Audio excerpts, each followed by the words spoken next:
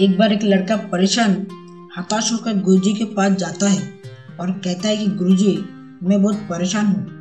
मुझे बहुत सारे पैसे की ज़रूरत है।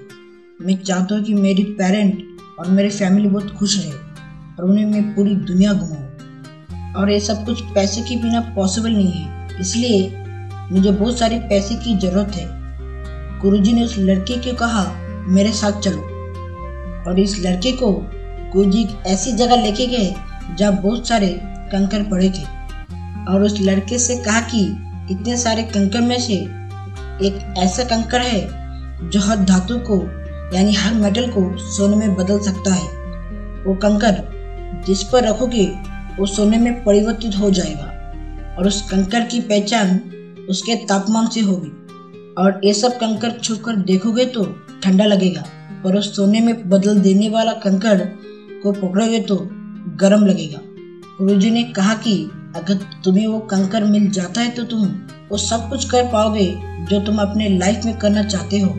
तुम बहुत ही अमीर बन जाओगे। लड़का बहुत खुश हुआ और सोचने लगा कि कुछ दिनों की तो बात है, मुझे रोज कुछ घंटे ही इस पर खर्च करने हैं। लेकिन इस लड़के को नहीं मालूम कि गुरुजी ने जो काम दिया है, कुछ सोच समझ के दिया है। लड़का दूसरे दिन से ही कंकर ढूँढने में लग जाता है। उसने वो सारे कंकर जो हाथ में छूकर ठंडे लगे, उसे महसूस करके उसे समुद्र में फेंक देता। क्योंकि अगर वो कंकर समुद्र में ना फेंके तो फिर से उस कंकर में मिल जाएगा। क्योंकि बहुत सारे कंकर थे, और वो रोज कंकर को हाथ से पकड़कर महसूस कर जल्दी जल्दी ठंडे कंकर को फेंक देता। ऐसे करते करते पहले एक दिन, फिर दो दिन, और ऐसे करके चार महीने हो चुके थे और फिर उसके कंकर को पकड़कर फेंकने की स्पीड बढ़ चुकी थी। लड़के को भरोसा तो था कि कंकर मिल जाएगा, लेकिन और जैसे जैसे दिन गुजर रहे थे, कंकर को ध्यान से परखना कम कर रहा था। और अब तो इतनी बारीकी से नहीं परख रहा था जितना स्टार्टिंग में परख रहा था। लड़के को ये हैबिट हो चुका था कि फटाफट कंकर को परखना और फेंक देना।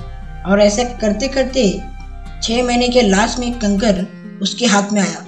उसे गर्म महसूस तो हुआ, लेकिन वो फटक से फेंकने के कारण उस पत्थर को भी समुद्र में फेंक दिया।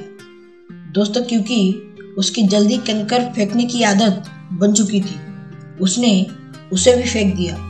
और फेंकने के एक सेकंड बाद ही उसे अपनी गलती समझ में आया और हाथ की मुट्ठी ज़ोर से टाइट कर ली क्योंकि उसे मालूम चल चुका था कि उसने वो चमत्कारी पत्थर समुद्र में फेंक दिया। दोस्तों, इस कहानी से हम क्या सीख सकते हैं? इससे हमारी सारी ज़िंदगी बदल सकती है। और इस कहानी में ऐसा क्या है जो हमारी सोच बदल सकती है? दोस्तों, इस दिन आपने अपने हर दिन हर पल को हल्के में लेना शुरू कर दिया। इससे धीरे धीरे हल्के में लेना आपकी हैबिट बन जाएगी।